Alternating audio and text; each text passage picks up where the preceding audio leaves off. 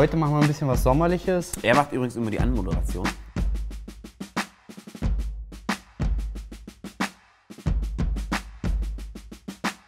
Ich fange jetzt erstmal an, damit die Tintenfische und die Masse fertig wird. Die haben hier einen kleinen Kopf.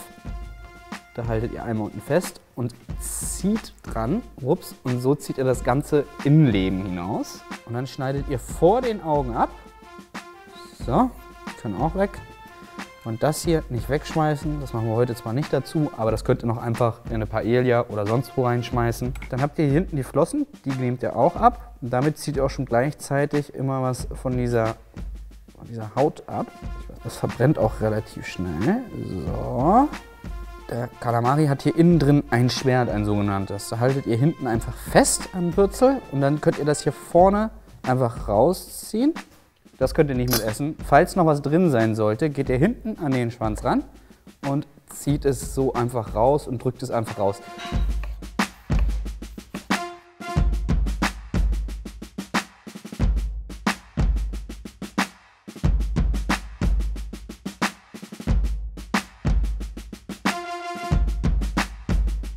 Für eure Füllung nehmt ihr auch ein paar Calamaretti.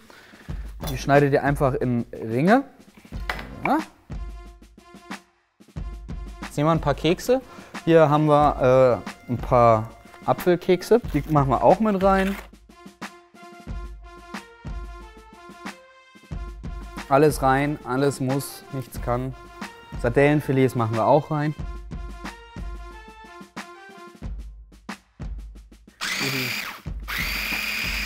Wenn es immer ein bisschen feucht ist äh, und das ist es hier, dann könnt ihr immer noch mal äh, mit Semmelbrösel nachsteuern.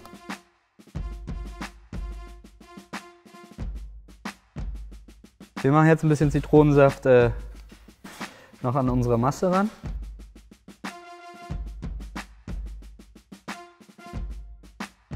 Also solltet ihr, solltet ihr keinen zweiten Mann haben, der das abfüllen kann, dann ist es auch super, wenn ihr euch einfach ein hohes Gefäß nehmt. Wir schneiden hier vorne einen kleinen Böppes ab und super.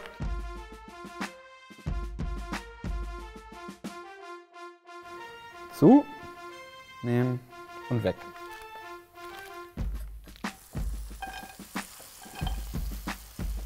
Und dann lasst ihr die erstmal ganz langsam in dem Öl braten.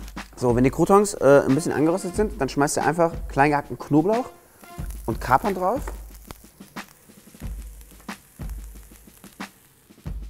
Ab und zu ein bisschen schwenken.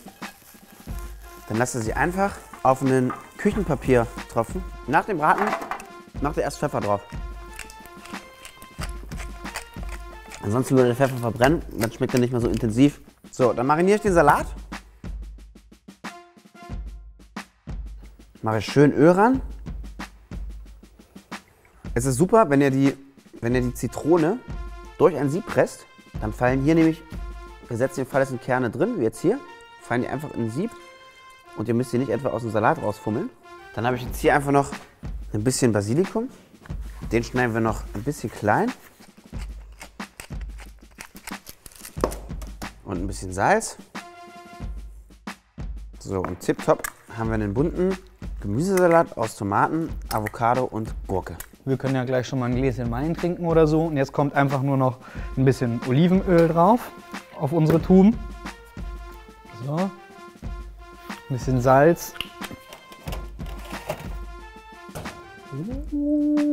Ja, leg mich am Arsch.